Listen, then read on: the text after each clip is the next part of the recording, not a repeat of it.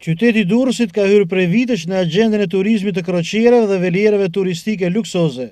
Paraditen e të shtunës, në portin e qytetit, u ankorua velieri luksoz Sea Cloud, i cili mbërrin për herë të tretë që nga fillimi i sezonit turistik.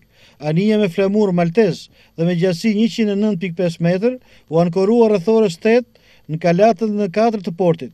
Kjo anije ka nisur lundrimet turistike në vitin dy mijë e dymbëdhjetë. Së bashku me të në Durrës arritën në bordin e saj rreth pesëdhjetë e nëntë turistë, pesëdhjetë e dy prej të cilëve janë shtetas nga Shtetet e Bashkuara të Amerikës, ndërsa nuk mungojnë edhe turistë nga Suedia, Polonia, Britania e Madhe, Australia dhe Afrika e Jugut. Velieri luksoz ka një personel shërbimi prej pesëdhjetë e tetë vetësh.